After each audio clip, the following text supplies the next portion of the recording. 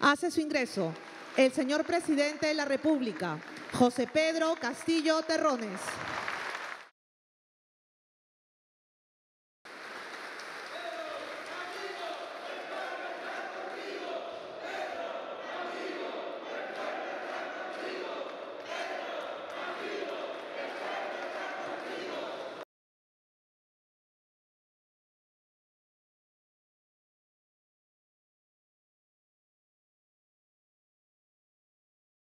Señora Ministra de Trabajo y Promoción del Empleo, estimados congresistas de la República, dirigentes, compañeros luchadores, hermanos y hermanas, trabajadores y trabajadoras de nuestro país, queridos hermanos.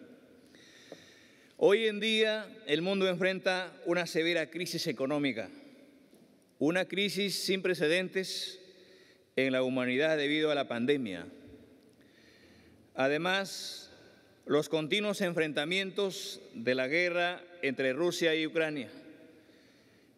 Esta, crisis que está produciendo enormes consecuencias económicas, consecuencias sociales y también consecuencias políticas.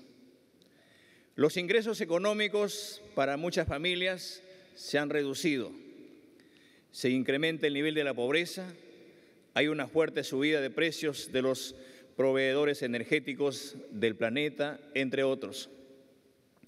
Esta situación nos conduce a una profunda reflexión sobre la unidad y objetivos comunes que debemos tener todas las autoridades del país para buscar las mejores alternativas y formas de mitigar el impacto a los diferentes actores políticos y a la sociedad en general.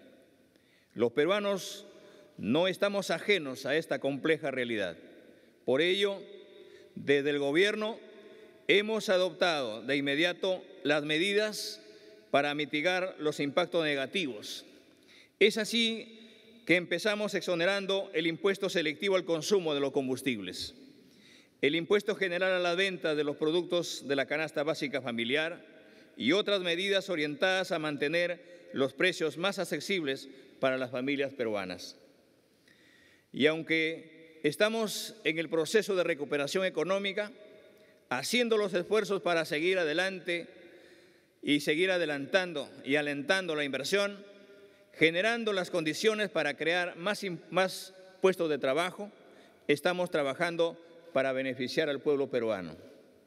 En ese contexto, tras un análisis exhaustivo por parte de nuestro equipo, el gobierno, el gobierno del pueblo, ha decidido firmar la autógrafa de ley que faculta el retiro extraordinario de los fondos previsionales privados AFP para el retiro de hasta 18.400 soles para su promulgación.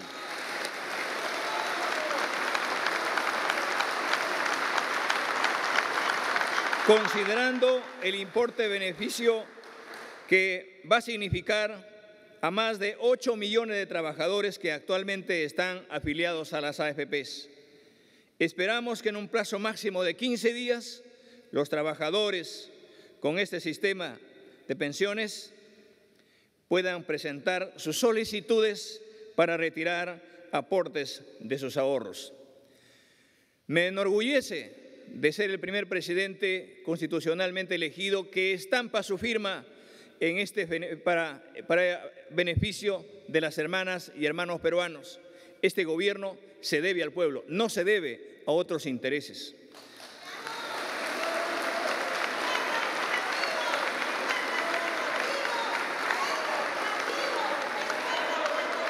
Los escuchamos y los escucharemos siempre. Y no podemos negarnos al clamor del pueblo. Y no podemos negarle a ustedes el dinero de sus ahorros que fue obtenido con su trabajo, su esfuerzo y su sudor. Por eso, respaldamos esta ley para que los peruanos hagan uso de sus ahorros en estos momentos críticos, en estos momentos difíciles. Al colocar nuestra rúbrica, queremos aliviar la economía de miles de peruanos que tienen necesidades fundamentales que cubrir en la salud, en la educación, en la alimentación de sus hijos, o tienen deudas y otros compromisos pendientes por pagar. De esta manera, el pueblo podrá disponer de lo que es suyo para salir adelante.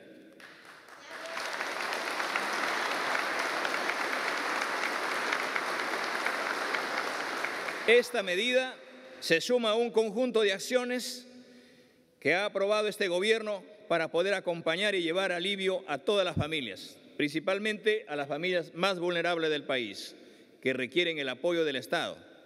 Aquí estamos con ustedes, queridos compatriotas. Hay muchas voces y hay, hay voces que no están de acuerdo con la norma. Sostienen que este retiro puede afectar la jubilación al pueblo peruano. A todos ustedes les digo que no tengan miedo. Estén tranquilos, porque mi gobierno y nuestro equipo y los equipos de diferentes sectores trabajaremos arduamente para impulsar los niveles de empleo en el Perú.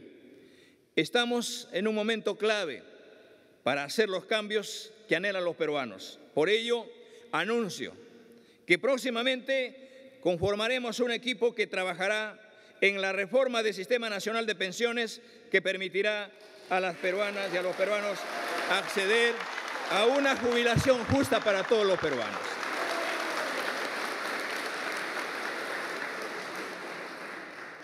Invoco al Ministerio de Trabajo que siga en esa línea de la mano con los trabajadores y con el país. La firma de esta ley también es una muestra de que cuando el Ejecutivo y el Legislativo nos ponemos de acuerdo y ponemos adelante al país, tenemos que seguir aprobando y ejecutando, implementando normas que impacten positivamente en la población y en la calidad de vida de todos los peruanos. Y si es así, estamos nosotros totalmente dispuestos para lograr resultados exitosos para el país.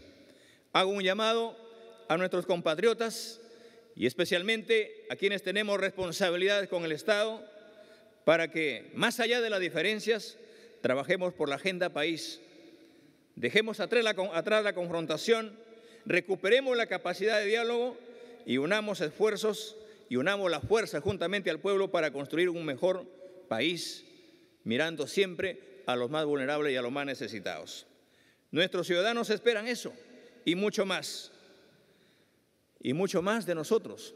Invoco a los congresistas que están acá que están dispuestos a seguir luchando y hagámoslo siempre, hagámoslo de la mano pensando en los más vulnerables y en este país que tiene muchos sueños.